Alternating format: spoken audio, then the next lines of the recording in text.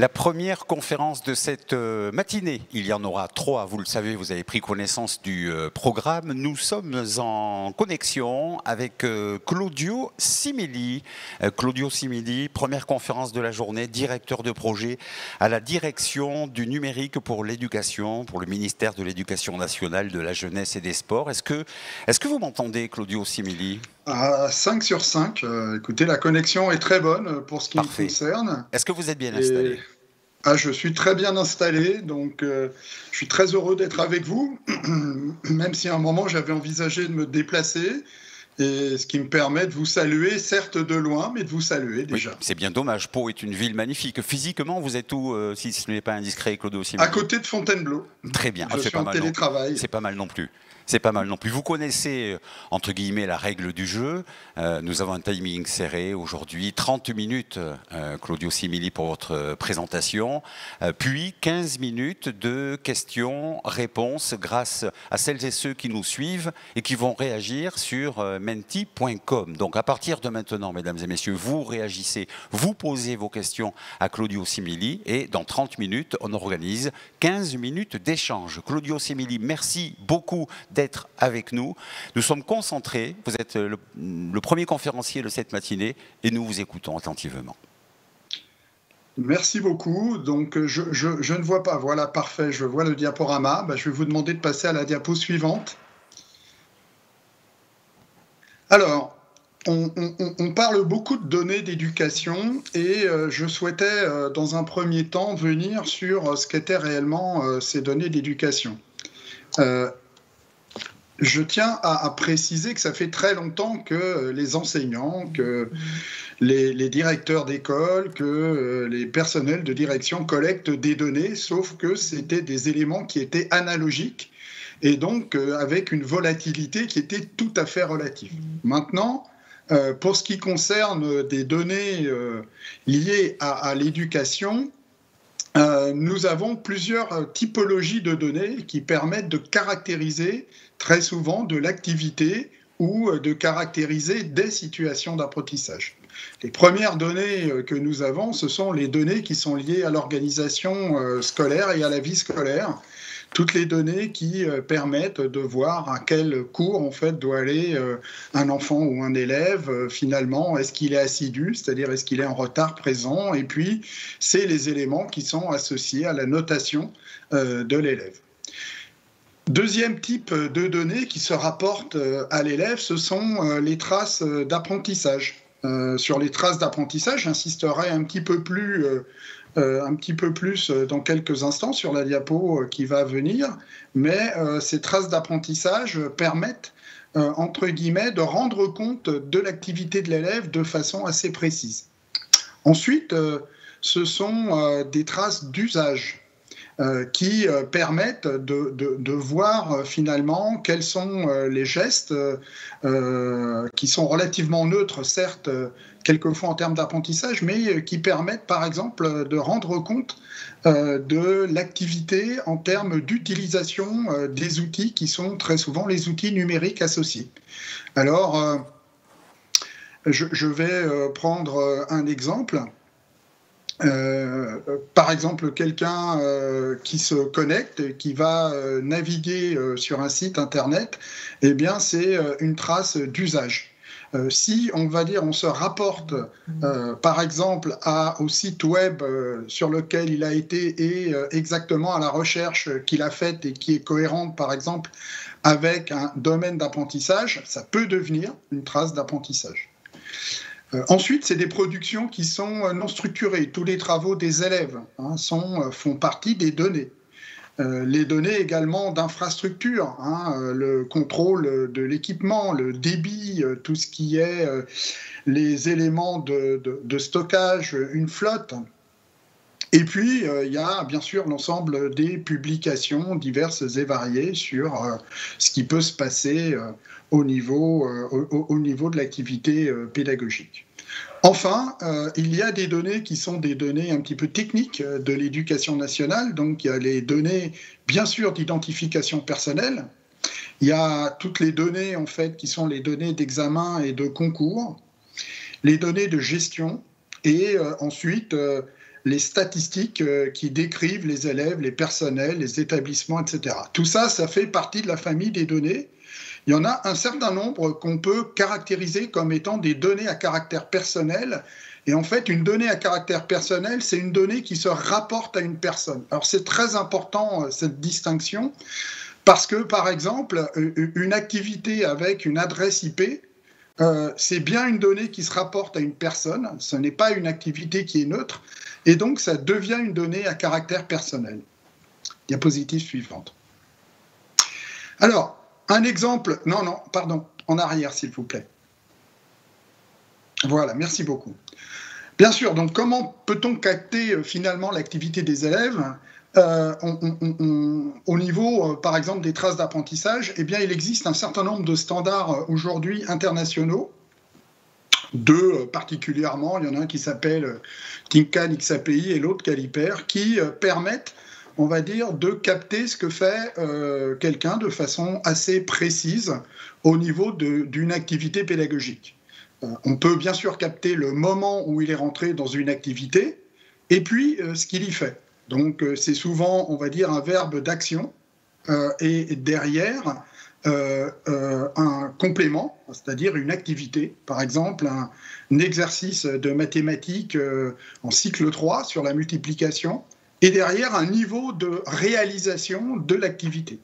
Donc ces éléments, alors il faut savoir que par exemple ce type de, captage d'activité est, complètement présente dans des plateformes de type LMS, de type Moodle, et ça fait très longtemps d'ailleurs que euh, les universitaires, la recherche euh, travaillent euh, sur ces traces, notamment dans le cadre des Learning Analytics. Diapositive suivante. Qu'est-ce que ça permet? Eh bien, ça permet de disposer de différents tableaux de bord qui peuvent être des tableaux de bord, par exemple, de l'engagement ou de l'activité de l'élève. Hein, il y a eu énormément de, recherches qui ont été faites là-dessus. Nous-mêmes, nous avons travaillé à cela. Et on peut rendre compte, en fait, de l'activité de l'élève, par exemple, voir si un élève est en situation de procrastination, c'est-à-dire euh, s'il se prend au dernier moment pour euh, travailler d'arrache-pied pour euh, préparer une échéance qui peut être une évaluation, un concours, un examen. Et si c'est un élève qui est un petit peu plus autonome, c'est-à-dire qu'il va aller sur l'activité, y revenir plusieurs fois avant, et, l'ensemble de ces éléments sont susceptibles d'aider euh, à une analyse de l'apprentissage de l'élève et à une analyse de la façon dont il s'y prend pour, euh, entre guillemets, euh, préparer des échéances, réviser, revenir sur une activité parce qu'il ne l'a pas comprise. Hein. et on, voit que l'ensemble de, ces éléments sont susceptibles d'aider, par exemple, l'enseignant pour comprendre finalement comment euh, un élève s'y prend ou comment un étudiant s'y prend pour euh, préparer une échéance et ensuite finalement pour apprendre. Diapositive suivante. Alors bien sûr, tout cela passe par des tableaux de bord, hein, des tableaux de bord qui sont des tableaux de bord euh, élèves, des tableaux de bord enseignants, qui permettent de rendre compte de l'activité et de l'engagement et qui donnent des indications, qui peuvent donner des indications objectivées précieuses aux enseignants sur le niveau, par exemple, de réalisation d'activités et euh, le nombre de fois et d'occurrences et la répartition dans le temps, en fait, euh, sur ce qu'un élève a réalisé. Euh, cette exploitation est, tout à fait intéressante. Hein. elle ne nécessite pas forcément d'intelligence artificielle. C'est justement en fait une activité de tableau de bord qui permet à la fois de mesurer l'activité et qui permet à l'enseignant de prendre des décisions qui sont des décisions euh, objectivées euh, à partir du moment où l'élève conduit un certain nombre d'activités pédagogiques. Diapositive suivante. Alors, l'ensemble de ces activités euh, sont des activités qui sont diverses. C'est-à-dire que Aujourd'hui, euh, on est capable de capter un certain nombre de données, et, d'ailleurs, en fait, il y a des données qui sont présentes tout à fait naturellement euh, dans euh, les outils de vie scolaire et autres. donc, une façon de mieux exploiter euh, ces données et euh, les possibilités offertes euh, par le numérique, c'est par exemple dans l'analyse des difficultés d'apprentissage. Ou ça peut être encore dans l'accompagnement à l'automatisation des évaluations et, de l'entraînement. C'est-à-dire proposer par exemple des QCM assez divers mais euh, qui vont cibler euh, de plus en plus le besoin de l'élève, qui vont le cibler complètement. Euh, avoir des interfaces qui permettent de converser avec, avec un, dispositif d'apprentissage, par exemple dans le cadre de l'apprentissage des langues. Ou alors faire des propositions un petit peu de proactivité aux élèves pour des recherches et donc de les aider à mieux cibler leurs recherches de planifier un, certain nombre de continuités euh, d'activités pédagogiques, donc de parcours pédagogiques, et donc d'aider l'enseignant dans la planification de ces parcours. Et puis après, euh, travailler sur le rythme des apprentissages, euh, travailler sur les notions alors d'ancrage mémoriel et d'envoyer ou de donner des recommandations par rapport à ça.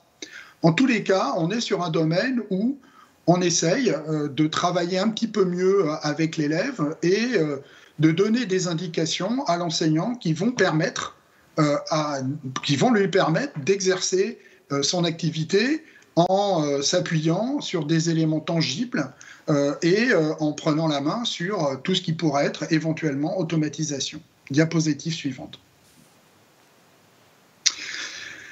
Alors, Évidemment, euh, valoriser les données d'éducation, euh, c'est euh, quelque chose, comme on le voit, qui est très important et c'est une activité majeure pour le secteur éducatif. Hein.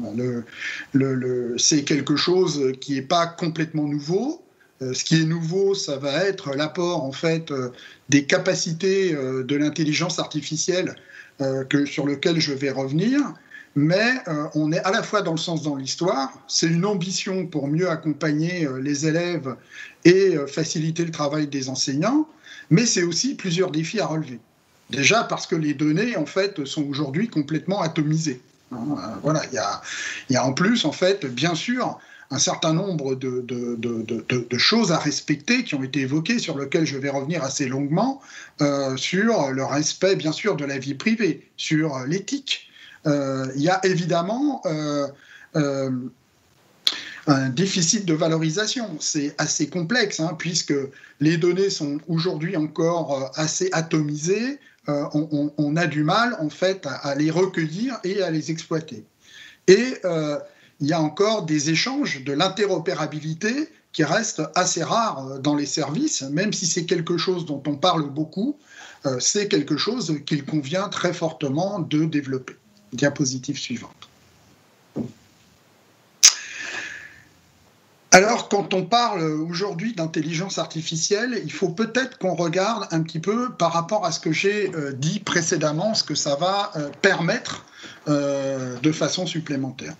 Bien sûr, l'intelligence artificielle s'appuie sur les données et elle permet effectivement d'aller sur une droite ligne entre la description de ce qui s'est passé, une meilleure analyse de, l'activité ou une meilleure analyse de ce qui se passe.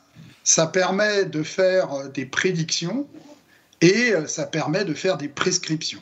Alors, prédire, bien sûr, c'est quelque chose en fait qui peut faire peur.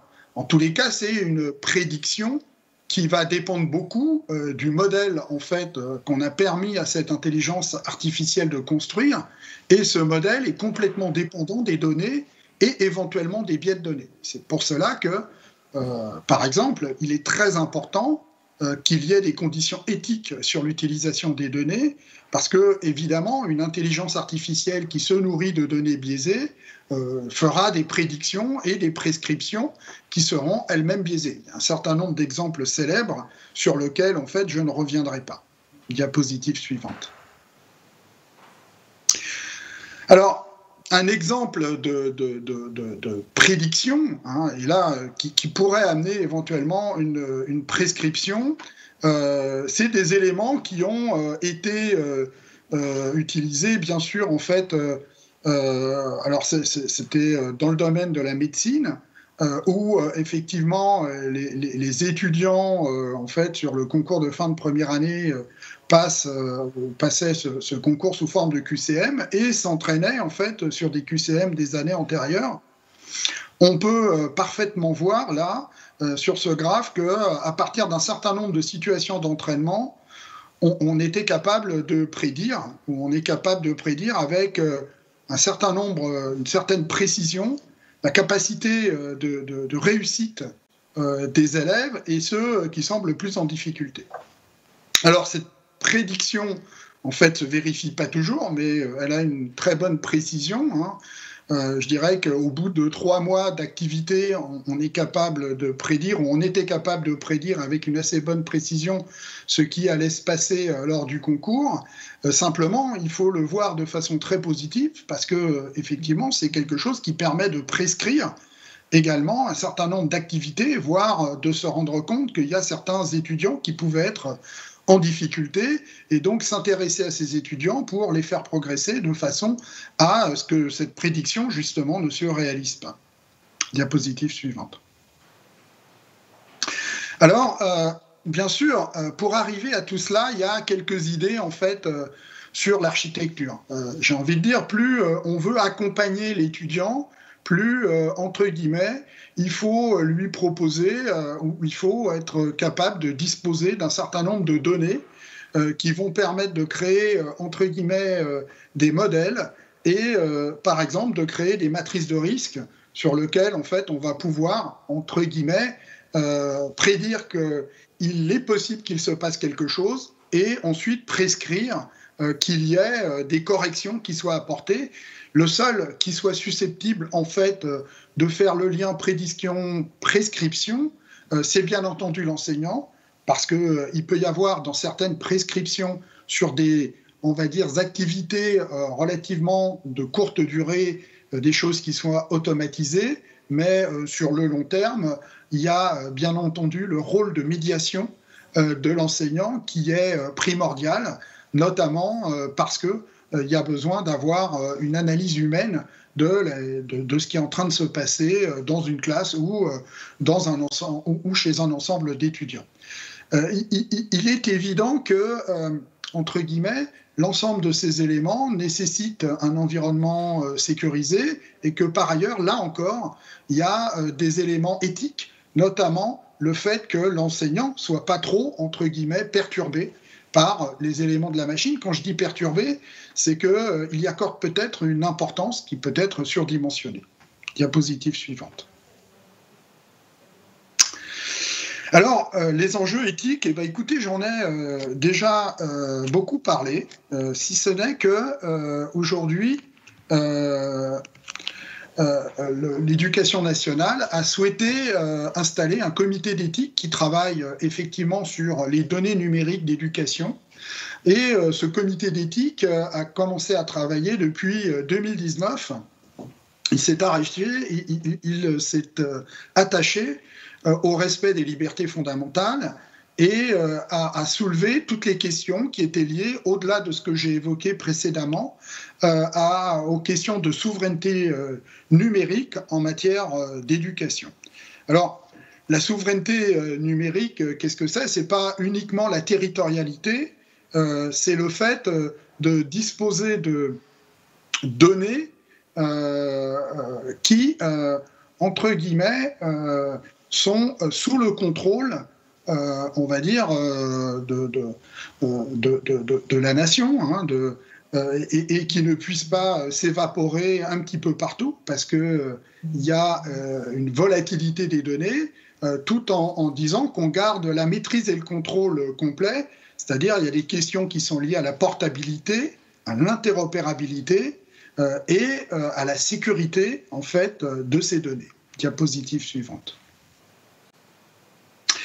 Alors, l'intelligence artificielle, ce n'est pas que ce que j'ai évoqué. Bien sûr, c'est quelque chose qui est complètement présent dans notre vie quotidienne. Hein. ce n'est pas devant nous, c'est en ce moment. c'est au travers du smartphone, euh, au travers euh, euh, de tablettes, au travers d'ordinateurs et surtout d'applications et de services. C'est de la saisie intuitive des propositions d'itinéraires. On, le sait tous avec le GPS, des assistants vocaux, de la recherche vocale, de la traduction, de la transcription orale-écrit, des tris, une entrée automatisée dans les calendriers, c'est des applications géolocalisées, c'est de l'analyse de ce que vous êtes en train d'écrire et de l'anticipation que vous n'ayez plus qu'à valider. Donc on le voit aujourd'hui, l'intelligence artificielle est complètement rentrée dans notre vie quotidienne et même si on ne s'en rend pas compte, on en est aussi quelquefois aujourd'hui un petit peu dépendant. Et c'est quelque chose qui rentre, qui rentre directement euh, dans l'école, ne serait-ce que par euh, les équipements euh, des élèves ou par les services auxquels ils accèdent. Hein. Faire une recherche aujourd'hui sur Internet avec les capacités de mémorisation des outils de recherche, ça fait euh, appel à de l'intelligence artificielle et pas que à des moteurs de tri. Diapositive suivante. Alors que fait-on, nous, au niveau des activités, et pour essayer de euh, finalement d'adapter l'intelligence artificielle à nos besoins? D'ores et déjà, on a beaucoup travaillé sur les partenariats d'innovation et euh, sur euh, la mise en place d'un travail sur l'apprentissage du français et des, et des mathématiques en cycle 3 euh, avec euh, un travail qui est fait depuis trois ans, qui est un travail euh, très particulier, qui consiste à associer les possibilités de la recherche et les possibilités des entreprises pour travailler sur des outils numériques qui répondent aux besoins des apprentissages des élèves, notamment pour ce qui concerne l'apprentissage du français, l'apprentissage des mathématiques. Donc c'est un partenariat très particulier qui permet en fait de travailler à la fois sur des phases de mise au point et d'expérience et ensuite qui va permettre, puisqu'on en est dans les dernières phases, de diffuser les outils, puisqu'en fait, euh, c'est un, un, marché d'un type nouveau qui permet, euh, entre guillemets, euh, à l'État, après en fait toutes ces phases de, mise au point avec la recherche et avec les entreprises, de, de, de, pouvoir proposer euh, les outils qui euh, auront euh, rendu les meilleurs services à l'ensemble de la communauté éducative. Ensuite, il y a des travaux qui ont été engagés depuis plusieurs années avec des partenaires pour mieux comprendre ce qu'est l'intelligence artificielle. Alors là, on, a cité ClassCode, mais il y a également des travaux qui ont été initiés. Diapositive suivante. Euh, sur d'autres dispositifs. Euh, par exemple, on, a travaillé avec euh, France Éducation Internationale au contrôle des faux diplômes. Ou encore, euh, aujourd'hui, il y a des dispositifs qui existent pour lutter contre le plagiat et qui peuvent rendre de nombreux services au niveau de l'éducation nationale. Diapositive suivante.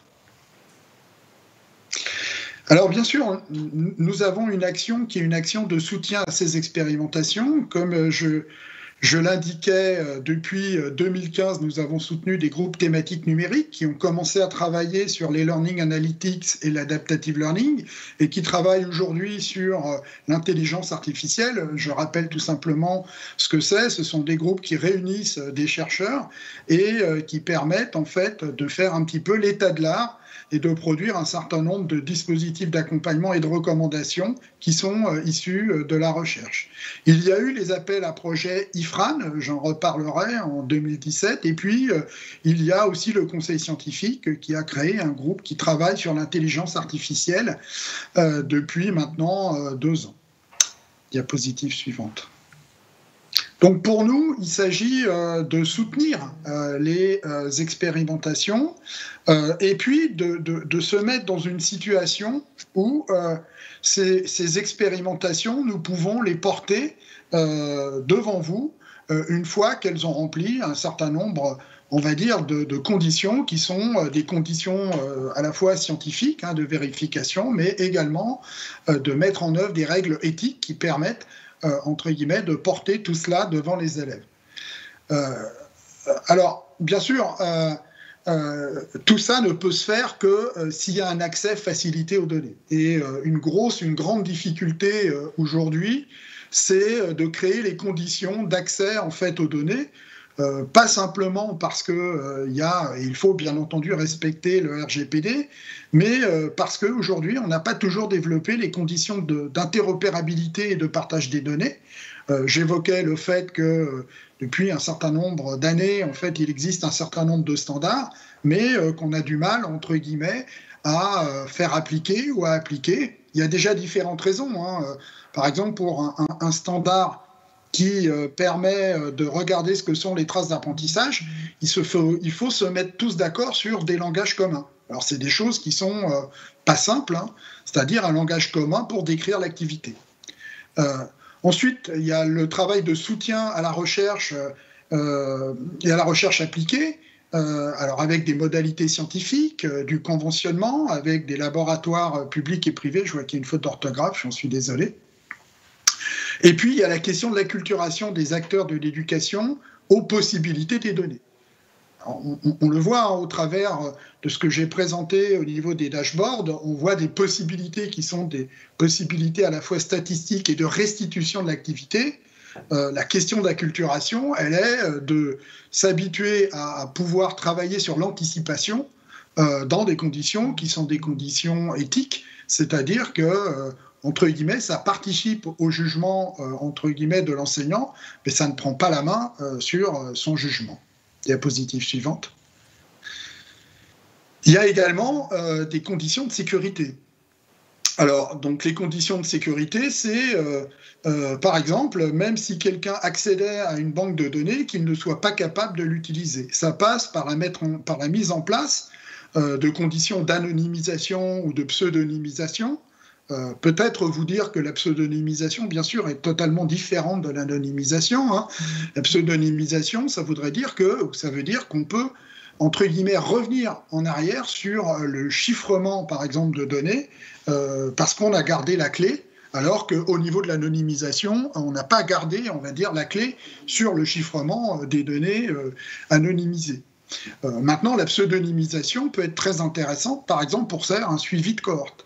Et enfin, par euh, l'obfuscation, euh, l'obfuscation consiste dans le fait de supprimer, par exemple, des éléments qui permettent, euh, qui vont interdire de, retrouver, entre guillemets, un nom ou des éléments d'identifiant d'un individu. Donc c'est l'ensemble de ces mesures qui vont permettre de travailler sur des données ou des familles de données et qui vont permettre euh, également à la recherche, euh, ou qui vont nous permettre de travailler euh, pour mettre en œuvre des algorithmes d'intelligence artificielle. Diapositive suivante. Alors bien sûr, ça nécessite de travailler en confiance. Ça fait quelques années qu'il y a un travail qui a été lancé avec les EdTech pour élaborer un code de conduite un code de conduite, qu'est-ce que c'est hein? C'est un code de conformité sectorielle. Et ce code euh, de conformité euh, sectorielle, euh, c'est quelque chose qui permet de démontrer que toutes les entreprises qui y adhèrent respectent le RGPD et même quelquefois un petit peu plus. Alors c'est quelque chose qui est contraignant, hein. c'est-à-dire qu'il faut savoir que la contrainte vient du fait qu'il peut y avoir un contrôle sur toutes les entreprises qui prennent cet engagement, qui a un contrôle en fait par un tiers, euh, qui est un tiers de confiance. Donc euh, on voit bien que ça également, c'est un élément extrêmement important. ce code de conduite est porté par la profession. et l'ensemble des associations des professionnels y adhèrent. Ce sont des éléments extrêmement importants pour nous permettre en fait de travailler en confiance avec l'ensemble des acteurs. Alors, diapositive suivante. Tout cela nous amène à euh, la capacité que nous avons pour euh, travailler sur la donnée, la valoriser. Dans un premier temps, il faut euh, bien entendu pouvoir collecter cette donnée. La collection de cette donnée se fait ou peut se faire par rapport à des entrepôts de données il faut savoir que dans les, LMS comme Moodle, les entrepôts de données existent et que toute la question, on va dire, c'est le fait de pouvoir souvent mettre ensemble plusieurs entrepôts dans des conditions de, sécurité euh, quand c'est nécessaire, hein, euh, bien sûr. Et ces conditions de sécurité, je viens d'en parler, euh, sont ou portent essentiellement sur le chiffrement des données, mais également sur des conditions d'identification et surtout d'authentification, voire la mise en œuvre de dispositifs de double authentification. Diapositive suivante.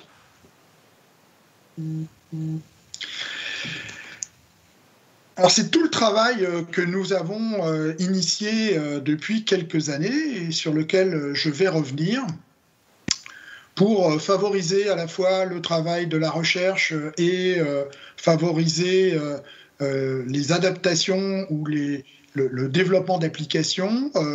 Nous sommes en train de travailler à un, un data hub pour l'éducation. Donc l'idée c'est de collecter les données euh, dans des conditions euh, de sécurité optimales pour mettre à disposition des jeux de données euh, qui vont aller vers la recherche, la recherche d'entreprise. Tout ça dans des conditions qui sont des conditions d'hébergement et des conditions de mise à disposition qui soient complètement, entre guillemets, contrôlées. il y a bien entendu un certain nombre de données qui pourront être mises à disposition en données ouvertes, mais ce qu'on souhaite, c'est qu'il y ait également beaucoup de collaborations qui se mettent en place et euh, également qu'on ait les possibilités au travers euh, de ce data hub d'exposer euh, les algorithmes qui sont mis en œuvre en fait quand les personnes viendront travailler sur le data hub, hein, puisque pour nous il est extrêmement important d'avoir cette transparence au niveau de ce qui va être fait, mais également des questions qui peuvent être liées à euh, euh, les modalités de euh, valorisation de ces données. Donc, il nous appartient aussi de travailler tous ensemble à l'élaboration de cas d'usage. Diapositive suivante.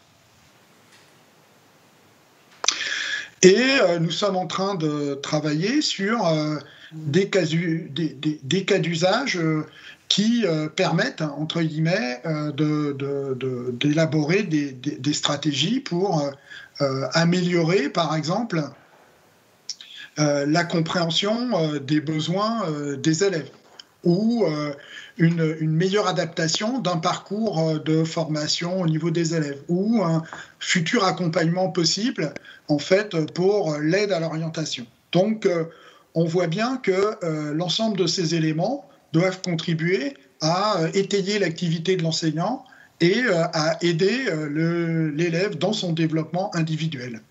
Diapositive suivante. Bien, ce travail en fait est échelonné. Nous avons commencé à travailler en 2016 avec plusieurs laboratoires. donc, il y a eu le laboratoire Lauria notamment, euh, avec, qui, avec l'INRIA et l'Université de Nancy, euh, qui euh, travaillait sur un projet qui s'appelle Métal, et avec par ailleurs l'université qui est l'université Paris, l'université de Jussieu, nous avons commencé à travailler aux prémices d'un laboratoire ouvert de Learning Analytics qui travaillait en fait sur des entrepôts de données euh, des outils d'audit d'algorithmes d'intelligence artificielle et euh, d'ouverture de jeux de données de tests qui sont des jeux de données redressés euh, et qui permettent d'entraîner des intelligences artificielles dans de bonnes conditions. Effectivement, cette continuité, c'est le data hub d'éducation sur lequel en fait nous sommes en train de, travailler aujourd'hui et, et, tout ça en fait en mettant en œuvre des conditions de sécurité, d'éthique et euh, euh, de, sécurité dans les échanges. Et puis, nous sommes en train de travailler sur la souveraineté des données au niveau européen, euh, dans des cas d'usage de data space qui font partie du projet européen, alors aujourd'hui franco-allemand, mais avec une vocation européenne qui s'appelle Gaia-X, parce que pour nous, toutes ces données, en fait, c'est véritablement on va dire, les choses les plus importantes aujourd'hui dans le domaine de, l'éducation et dans le domaine en fait du numérique. Et cette question de souveraineté est quelque chose qui, nous, qui, est, qui est fondamental pour pouvoir en fait développer le savoir-faire français et européen. Diapositive suivante. Voilà, je, il, me reste à, dire que, bien entendu, euh, des éléments fondamentaux euh, c'est, euh, font partie de la culturation de l'ensemble des citoyens, on va dire, à, ces concepts, et qu'il faut qu'il y ait, on va dire, un effort particulier dans la compréhension de ce que sont les données, dans la compréhension de ce que sont les algorithmes, dans la compréhension de ce qu'est l'intelligence artificielle et que l'ensemble des éléments, eh bien, euh, aujourd'hui, euh, commencent à rentrer en ligne de compte dans les différentes spécialités euh, qui sont qui, qui, ont vu le jour au niveau de la seconde, de la première et, terminale, et notamment numérique et, sciences informatiques, ce qui nous permet en, fait aujourd'hui au, niveau de la France de faire partie des premières nations en fait, qui travaillent avec les élèves complètement sur ces euh, dispositifs. Diapositive suivante. Alors, bien sûr, euh, on a toujours l'impression que ça ne va pas assez vite. Hein. C'est euh, quelque chose qui est tout à fait général. puisqu'en fait, il y a une loi, qui est la loi de Martek, qui dit que l'évolution, entre guillemets, des technologies est toujours beaucoup plus rapide que l'évolution des organisations euh, qui euh, utilisent les technologies et, euh, qui, les promeuvent quelquefois dans leur fonctionnement. Alors pour ça, eh bien, nous, nous avons souhaité, diapositive suivante, au niveau de, de l'éducation nationale, travailler un petit peu sur tous ces aspects pour tracer une feuille de route vers l'avenir. Et cette feuille de route, en fait, nous sommes en train de la construire avec tous les travaux qui ont été conduits lors des États généraux du numérique pour l'éducation, dans lequel toutes les questions que je viens d'évoquer euh, figurent. Et euh, nous espérons euh, que, effectivement, compte tenu de, de l'ensemble des éléments qui nous sont revenus, du dialogue qui s'est mis en place avec l'ensemble des acteurs de l'éducation, nous allons réussir à réduire on va dire, les écarts de cette fameuse loi de Martek pour euh, aller dans le sens euh, de euh, l'accompagnement des élèves, des enseignants et d'une de, la mise en œuvre de meilleures situations d'apprentissage et d'éducation pour les élèves. Diapositive suivante.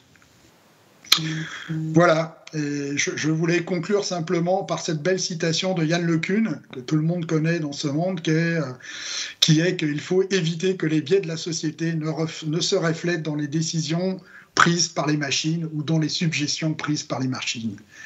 Euh, je vous remercie et puis, bah, écoutez, euh, je suis prêt à répondre à toutes les questions. Merci beaucoup. Merci beaucoup, Claudio Simili. D'abord, merci pour euh, le contenu de votre présentation. Merci également pour votre sens du timing.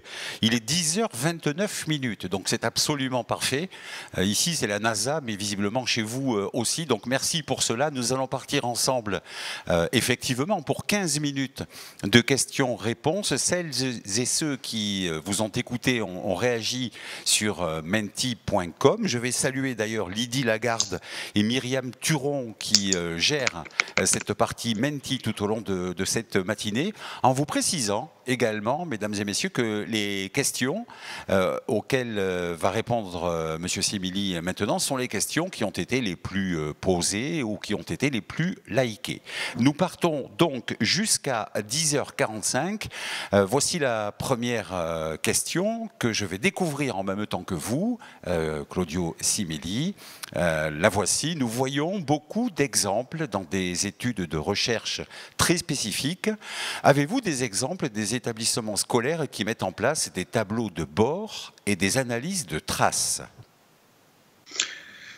Alors, à ma connaissance, euh, très peu.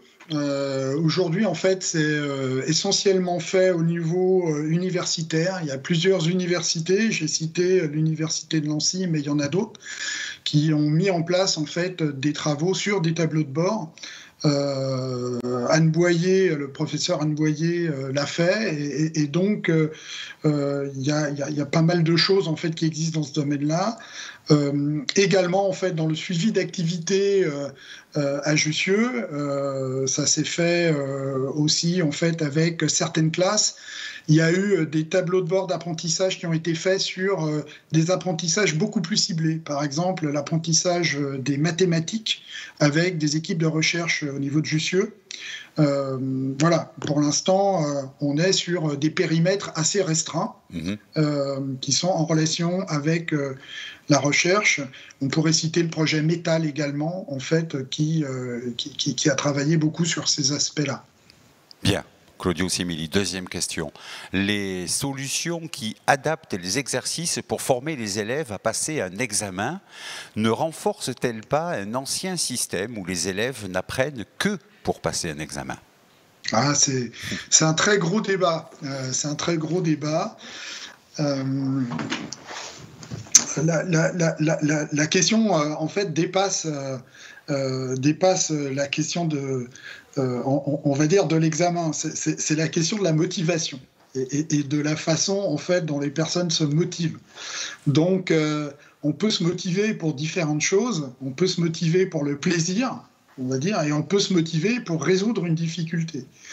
Et, parce qu'il y a le plaisir qui vient. Donc, euh, je ne pense pas, en fait, être capable de répondre complètement à cela, parce que c'est vraiment une c'est un gros débat. Quoi. Et, je ne pense pas que j'ai la qualité pour répondre à ça. La question était, euh, était, pertinente néanmoins. La voici la ah, troisième. complètement. complètement. PIX n'est-il pas un système basé sur euh, l'adaptative learning?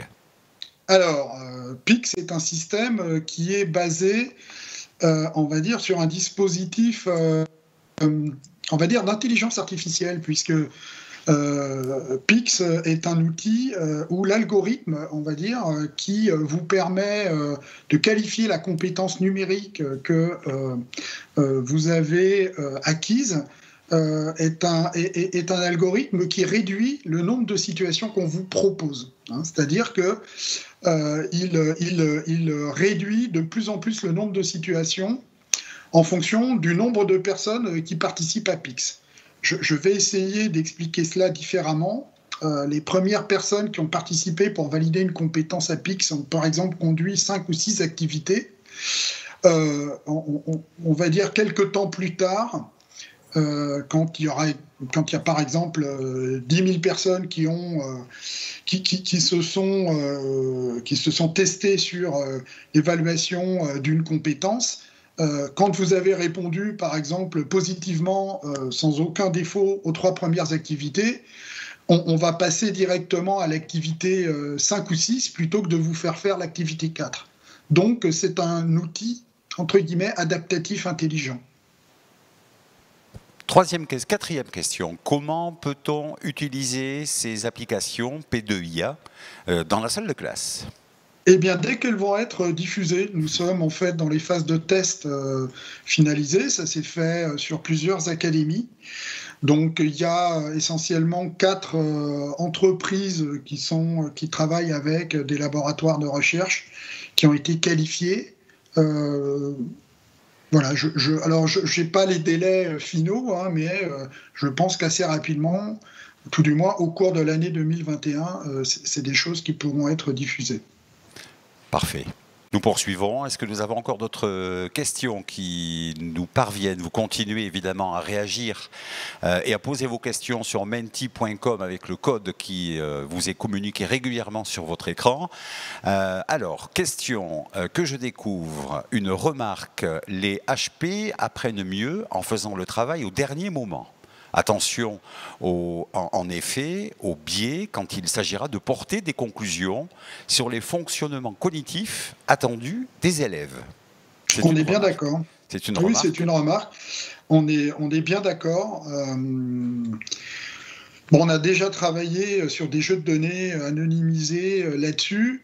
Euh, on, voit bien que, par exemple, des élèves euh, s'y prennent à plusieurs reprises pour euh, résoudre en fait une difficulté. Euh,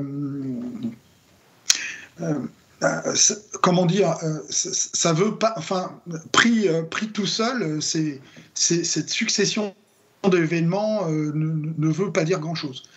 ça peut vouloir dire quelque chose dans la mesure où quelqu'un a des habitudes régulières et qu'on peut corréler ça en fait avec une réussite globale euh, qui va être une réussite euh, qui aura lieu plus tard dans le temps, hein, avec un petit peu ces notions également d'ancrage mémoriel. Donc, euh, c'est des choses qu'il faut prendre avec beaucoup de, précautions. Aujourd'hui, en tous les cas, les corpus de données ne sont pas complètement toujours suffisants pour amener des aides satisfaisantes. C'est pour cela que j'ai beaucoup parlé de conditions éthiques, c'est-à-dire que euh, les conclusions entre guillemets euh, de la machine ou les propositions de la, de la machine soient pas prises pour argent comptant mhm. euh, et qu'il y ait en fait une, une capacité de détachement de la part des enseignants qui pourraient utiliser ce type d'indicateur. Mhm. Quelle confiance peut-on avoir sur des applications développées par des entreprises privées? L'éducation nationale ne peut-elle pas faire valoir un label respectant un certain nombre de critères du style RGPD, critères éthiques, euh, etc. Alors. Euh, Oula, je vous sens décidé là sur cette. Euh, non, non, c'est une très bonne question également. alors, déjà, pour ce qui est du label, on va dire que le code de conduite que j'ai explicité est une forme de label, hein, puisque les entreprises qui vont s'engager dans le code de conduite, alors il va être porté bien sûr devant la CNIL, nous espérons pouvoir le porter au niveau européen, hein, ça serait très bien. Euh, mais c'est euh, une sorte de label de respect euh, à la fois du RGPD et de conditions supplémentaires. Hein. Par exemple, des conditions sur la vente d'un certain nombre de données, même pour des finalités éducatives. Voilà. On, pourrait. Hein. Donc je ne peux pas le dévoiler parce qu'en en fait il est, il est en cours de, rédaction par la profession et avec la profession, mais il comprend un certain nombre d'éléments supplémentaires. Bon. Par ailleurs, euh, alors sur, la question de la labellisation, les applications du P2IA sont en quelque sorte des applications aussi labellisées, hein, puisque au départ il y avait 7 euh, à 8 solutions, ça maintenant on en arrive à 4. Voilà. Il, y a, par ailleurs tout un, travail euh, de didactique à regarder au niveau de ces applications. Donc aujourd'hui, la labellisation sur un seul facteur nous paraît quelque chose de délicat. Euh, en tous les cas, je pense qu'il faut qu'on acquiert un petit peu plus d'expérience sur ces outils euh, pour pouvoir envisager euh, une qualification particulière. Alors nous voici dans la dernière partie de cette séquence questions-réponses avec celle-ci. N'est-il pas dangereux que toutes les données des élèves soient centralisées par le ministère? Non, alors c'est pas au ministère entre guillemets. Euh, par ailleurs, on va dire, il y a euh, la question du consentement, hein, c'est-à-dire euh, le, partage des données, etc., est soumise à consentement, l'enregistrement notamment sur, sur le long terme. Et, et, enfin, il y a des questions qui sont des questions qui vont être liées justement à la non-capacité d'identification des données euh, quand je dis d'identification, c'est euh, d'identification des individus ou des, qui, ont, euh, qui ont mis à disposition leurs données ou qui sont les données sur lesquelles on aura travaillé. Il y a des exemples aujourd'hui de Data Hub. il y a le Data Hub de la santé, hein, d'ailleurs, qui, qui, qui, est inspirant. Alors, il y a toute une polémique, on va dire, autour, mais par contre, au niveau des mesures qui sont les mesures de sécurité, euh, sur la, construction euh, de ce data hub, hein, qui, qui, est à la fois en relation, puisque c'est un opérateur hein, qui, qui, le fait avec le ministère de la Santé, donc qui est rattaché, mais, voilà, mais qui a aussi une certaine autonomie comme, euh, pour, pouvoir, pour pouvoir travailler, sont tout à fait inspirants par rapport en fait, à nos travaux. Nous n'en sommes aujourd'hui qu'aux prémices. Hein mais, euh, mais il y a un certain nombre d'éléments qui sont euh, inspirants, voilà, y, compris des éléments de souveraineté qui nous paraissent extrêmement importants. Les, les enseignants sont-ils des ingénieurs pour gérer toutes ces questions? Alors, justement, non. C'est pour ça que je parlais euh, des tableaux de bord. parce qu'en fait, il faut qu'on simplifie l'utilisation de ces éléments. J'espère, comme j'ai pu le montrer, les tableaux de bord peuvent être relativement simples. Hein. Euh, et, ou alors les restitutions peuvent être relativement simples. Par ailleurs, comme on parle d'intelligence artificielle, euh, des dispositifs d'entraînement, par exemple d'activité au niveau des langues ou de reconnaissance vocale ou euh, d'adaptation de, situations pédagogiques, en fait, c'est des choses qui sont simples, que, que, que, vous ne verrez peut-être même pas. donc, euh, il ne faut pas en fait voir ce côté ingénieur. Moi, j'ai tenu à euh, donner des explications et à montrer en fait comment tout cela pouvait être rendu possible. Euh, bien entendu, j'ai envie de vous dire, à un certain moment, ce sera complètement intégré dans l'activité et nécessitera pas, entre guillemets, de compétences de data scientist pour pouvoir exploiter l'ensemble des éléments. La dernière question, Claudio Simili, à quoi sert le Data Hub pour les profs? Et on terminera sur euh, cette question. Ben, les profs, pour eux, euh, entre guillemets, euh, ce n'est pas des utilisateurs directs, ça va être des utilisateurs indirects de ce qui va sortir des travaux de recherche qui auront exploité les données on va dire, de, ce hub. Hein. c'est le, le, professeur va être lui un bénéficiaire indirect euh, des applications qui auront pu être entraînées grâce à ces données. Euh, il, faut savoir que les chercheurs français, euh, par exemple, désespèrent depuis de nombreuses années de ne pas disposer de jeux de données qui leur permettent de travailler.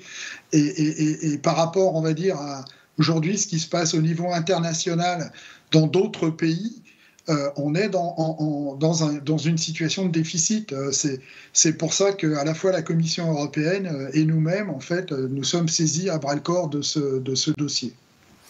Parfait. Claudio Simili, on vous remercie chaleureusement pour cette intervention. Est-ce que vous avez envie de, conclure d'une manière ou d'une autre votre participation à cette édition EDO 64 ben, euh, écoutez, j'espère euh, qu'au travers des échanges et puis de ce qui va se, passer, l'intelligence artificielle ou la valorisation des données ne feront plus peur parce qu'il euh, y a beaucoup de choses qui circulent autour. Il y a beaucoup de peur euh, autour de ça. Euh, non, euh, c'est quelque chose en fait qu'il est possible de maîtriser et c'est quelque chose qui a vocation à venir accompagner les élèves et à, soutenir l'action des enseignants en les aidant finalement à être encore plus humains. Merci Claudio Simili, merci de cette intervention. Bonne continuation à, Fontainebleau et dans le cadre de vos activités, directeur de projet à la direction du numérique pour l'éducation, ministère de l'Éducation nationale, de la jeunesse et des sports. À très bientôt à Pau, pourquoi pas.